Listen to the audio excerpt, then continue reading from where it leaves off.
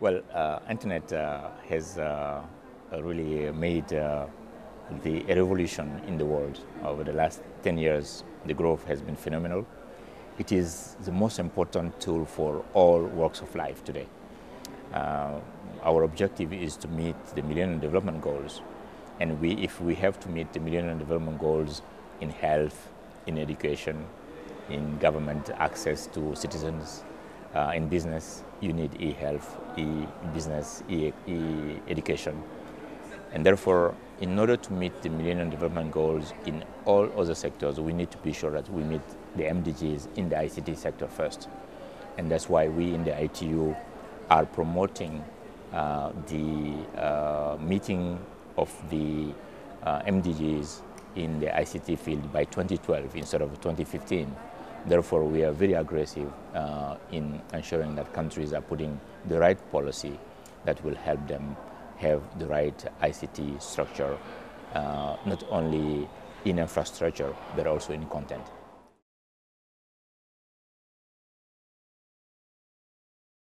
Well, I hope that uh, internet will really uh, be uh, the true tool for democracy, uh, for citizens' uh, freedom, and for citizens to access information.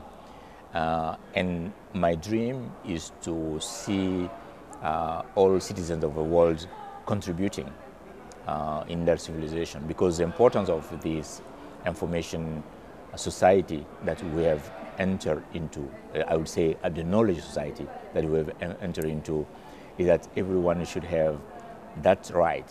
It should be a fundamental right to access information, to use information, because it's not, it's not enough to access it, you have to use it as well. But you need to also create information, but also share information. And, and therefore, with those four elements, we will have a truly a true knowledge society that we are all dreaming of, where every citizen will contribute.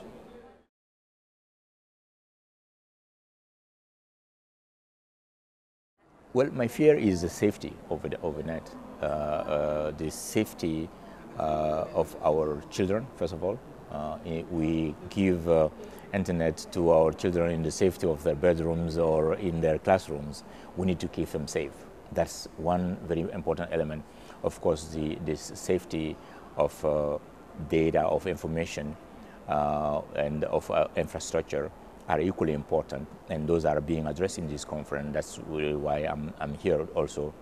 Uh, that's why I've uh, put together in the ITU the high-level group, expert group on cybersecurity.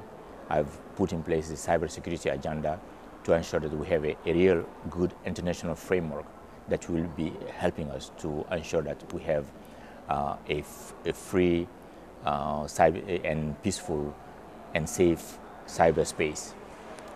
They, I use peaceful because we need to also uh, avoid cyber wars. And that's one of my biggest fears. Uh, a cyber war will be a catastrophe for the whole world. And we know from the conventional world that no one is a winner in a, any war except the arms dealers. Uh, and the best way to win any war is to avoid it in the first place. Therefore, we need to put together an international framework that will enable us to avoid cyber war between member states. We know from the experience of Estonia last, last year that it could happen. It's no longer some uh, uh, articles written by some uh, crazy journalists or dreamers, but those things are real realities that can happen. And we know that a war in the cyberspace is worse than a tsunami.